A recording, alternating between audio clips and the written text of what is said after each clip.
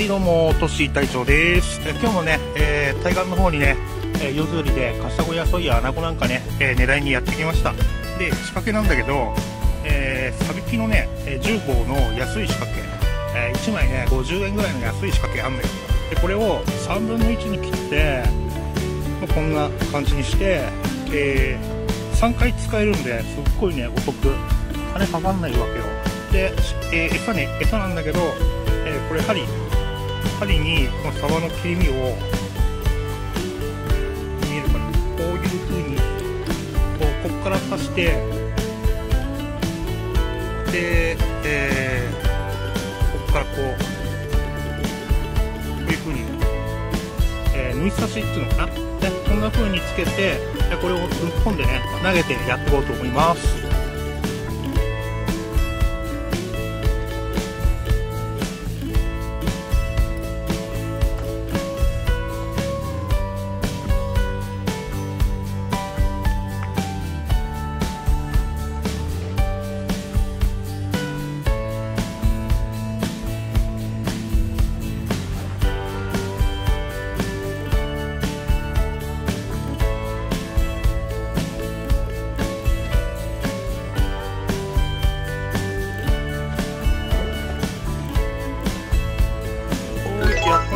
ました。ねなかなかいいカサゴだな。20センチちょっと。22センチぐらいか。ねやりました。おいまたね釣れました。2匹目。えー、っとねこれも20センチは超えてんな。うんやりました。はいなんかね雪が降ってきたよ。雪雪が。ね雪が降ってきてなんかねうんこしたくなっちゃったからね。もう農館にします。農館です。一応坊主は回避できたよ。2匹釣れたからな。やりました。はい、ね、本日の超過です。言ってももうね、えー、エラと内臓とね、鱗取って水洗い終わったんでね、今日はね、ひな祭りももう近いってことで、えー、このカサゴ2匹で、えー、チラシ寿司、えー、作っていこうと思います。ね、ちゃちゃっとね、適当に作ってみますよ。お楽しみに。え今日はね、えー、皮下にするんでね、えー、皮残します。で、まずここ落としてやって、次にここか。あ、ちょっと俺魚さばくの素人だから、まああんまうまくはないんだけど、こんな感じでいいかな。よし。まあ、こんな感じで3枚にね、3枚おろしていきます。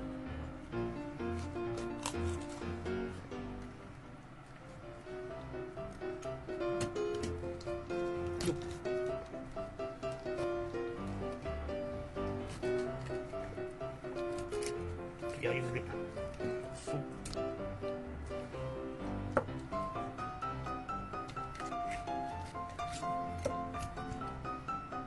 あと今日ね、牛落ちる作っていくんでね、適当にこれ、釜もね、使います。ということで、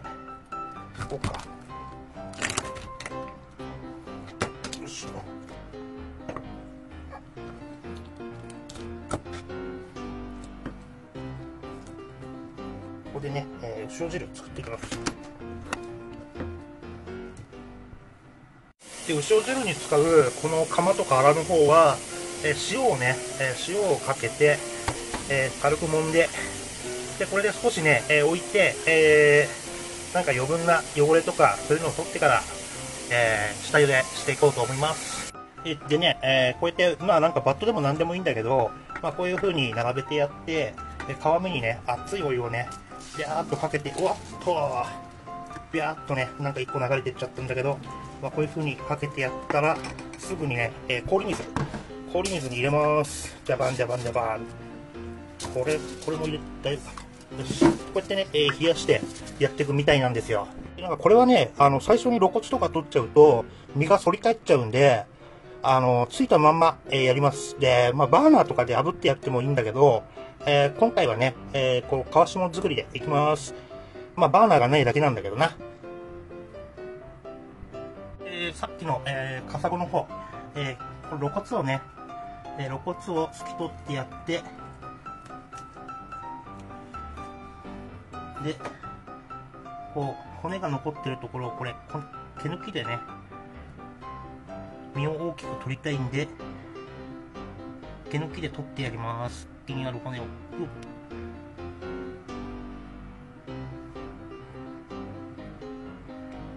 取れた。まあ、こんな感じでね、えー、手抜きで抜いていきます。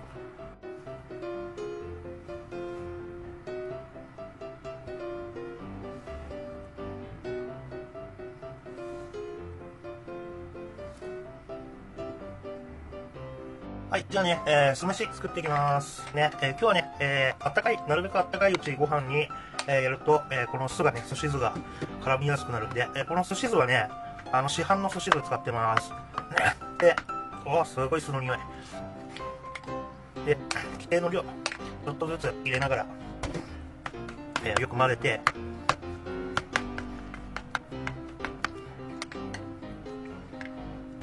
ね、結構酢が効いてるのが俺好きだから、まあ、しっかりね。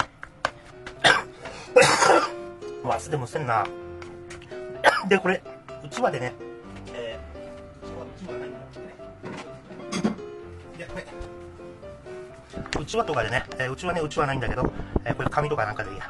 パタパタパタっとね、で、これでよく冷やしながらこう、ね、酢飯作っていきますよ。じゃあね、こんな風にね、えー、カサゴの方薄くそぎ切りにしたんで、えー、早速盛り付けていこうと思います。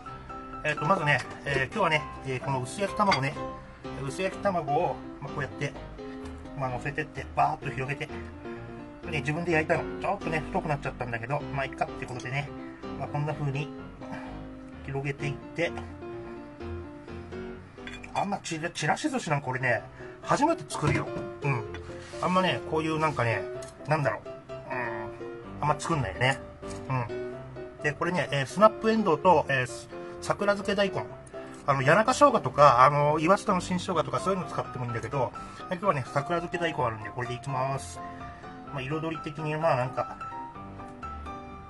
まあ適当にね、緑とか、緑と黄色とピンクみたいな感じで、適当に持ってきます。でね、こんな風にね、えー、周りにこう、えー、盛り付けたら、えー、今度ね、刻み海苔をね、刻み海苔を適当に、えー、あしらっていこうと思います。あんまやるとなんか品がなくなっちゃうから、ちょっとな、こんな感じか。はい、こんな感じでね、えー、盛り付け終了しました。ね、ちらし寿司です。カサゴのちらし寿司。じゃあ次、牛を。はい、じゃあね、えー、さっき塩でね、えー、塩もみしてつけといた、えー、カサゴの方、えー、洗って、これをね、さっと沸騰したお湯の中にバッと入れてね、やっていきます。でね、えー、沸騰したお湯の中に、こいつを、カサゴ、バーっと入れてね、バーっと入れて、もうすぐね、えー、お湯に入れて、すぐもう水で洗います、これ。ビャーっとね。ここの細かいのが残ってるんで、えー、水で流しながら、えー、これ丁寧にね、えー、鱗とか取ってきます。結構ね、あの、血とか残ってるんですが。えー、したらね、えー、水の方、お鍋に水と昆布を入れて、えー、さっきのカサゴを入れて、えー、お酒入れていきます。ダダダダダダっとね。でね、えー、これ、えー、火を弱火にして、えー、まあ、ワックス無線に昆布を取り出して、えー、弱火で沸騰絶対させないようにして、えー、煮ていきます。でね、えー、昆布取り出したんでね、えー、ちょっとアクが出てきたんで、これアク作っていきましょう。をすくって、で、まあ弱火で、本当に絶対沸騰させない感じで、まあゆっくり、うん、やっていきます。味付けは塩だけでいいのかな？うん、まあこんな感じでね。おーい、牛尾汁、カサゴの牛尾汁完成です。なかなかうまそうでよ。はーい、お疲れ様です。ね、やっとね、えー、今日のね、えー、釣った魚でちらし寿司えー、牛尾汁、カサゴの牛尾汁だーがね、やっとできましたよ。な、ひな祭りだけどな。ひなはいないけど、ひな祭りだよってことで、えー、桜の宴から行きますかね。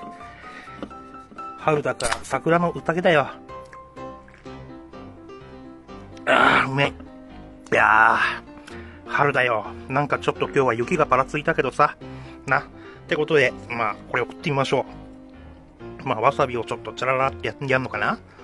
で、えー、ちらし寿司だから、まあ、これを、この上に、ドヒャってダイブしちゃっていいんだよな。いきます。ガーッとな。ガガガガガガガガガガッとな。うん。で、えー、く、食うんだな。じゃあね、えー、よそったんで食ってみましょう。うん、まずカサゴからいこう。うん。うん。うまい。酢飯は、うん。うまい。うん、いいね。なんかね、カサゴの味がすごい楽しめる。やっぱカサゴはさ、皮と身のところの油が一番うまいから、やっぱ皮下が一番いいね。こうやって食べんなら。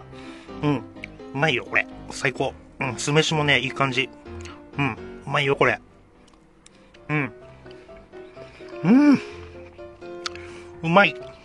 幸せ。じゃあな、この、牛尾汁か。カサゴの牛尾汁。今日はちょっとね、糸三つ葉をね、えー結び三つ葉にしてしてみました。ちょっとね、柚子とかあるとね、いいんだけど、これちょっと飲んでみよ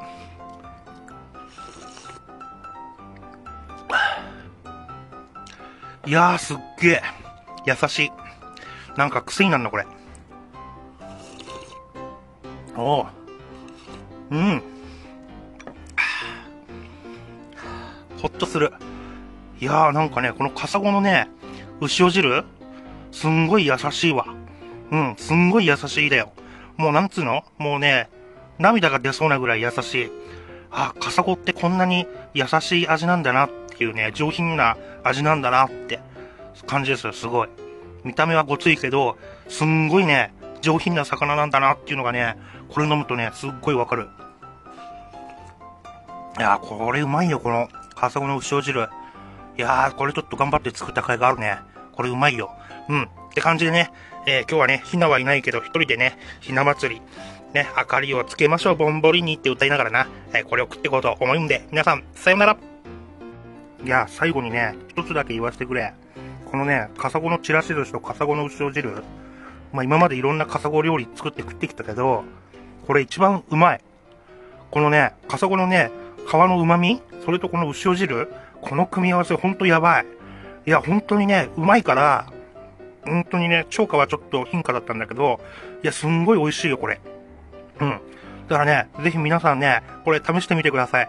カサゴのちらし寿司。ね、お願いします。チャッチャチャンネル登録よろしくね